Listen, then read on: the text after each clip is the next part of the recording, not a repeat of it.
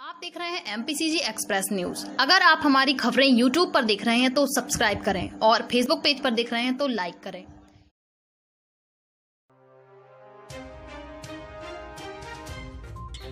मध्य प्रदेश पटवारी संघ तहसील शाखा बंडा के पटवारियों ने आयुक्त महोदय भू अभिलेख के नाम तहसीलदार बंडा को ज्ञापन सौंपा। ज्ञापन में उल्लेख है कि सोमवार तथा गुरुवार को पटवारियों की ग्राम पंचायत मुख्यालय पर उपस्थिति सारा ऐप पर सार्थक मॉड्यूल के माध्यम से ऑनलाइन दर्ज कराने के निर्देश जारी हुए थे।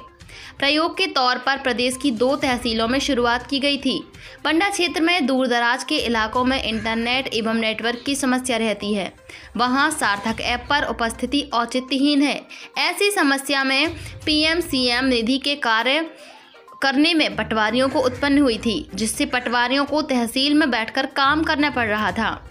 न्यायालयीन कार्यों में प्रतिवेदन, स्थल जाँच एवं करीब बावन विभागों के कार्यों का संपादन करना होता है। शासकीय अवकाश के साथ साथ रात्रि के समय में भी करना पड़ता है काम। इन कामों की प्राथमिकता को छोड़कर सार्थक ऐप पर उपस्थिति तर्क संगत प्रतीत नहीं होती। लगभग तीन वर्ष पूर्व पटवारियों को तिहत्तर सौ रुपया मोबाइल क्रय करने हेतु दिए गए थे। इनमें से नवयुक्त पटवारियों को आज दिनांक तक यह राशि प्रदान नहीं की गई और पूर्व में दिए गए मोबाइल की वारंटी समाप्त हो चुकी है। वर्तमान में प्रदेश के पटवारी मेहनत एवं लगन के साथ कार्य कर रहे हैं। मध्य प्रदेश में राजस्व विभाग को प्रथम आने पर प्रधानमंत्री ने भी सम्मानित किया। इसके बावजूद इस प्रकार के आदेश लागू करना पटवारियों की अन्य मांगों से ध्यान भटकाने का प्रयास प्रतीत कर रहा है। हमारी मांगे। पटवारी संघ। पटवारी संघ। पटवारी संघ।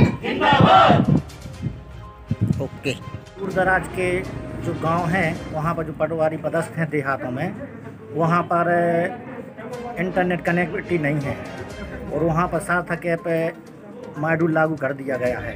तो पटवारी में बहुत सारी समस्याएँ उत्पन्न हो रही हैं। कुछ काम यहाँ बंडा में से करना पड़ते हैं। जैसे पीएम किसान का है, सीएम किसान का दूर दराज के इलाकों में ना तो बिजली उत्पन्न होती है, उपलब्ध होती है और ना कनेक्टिविटी होती है।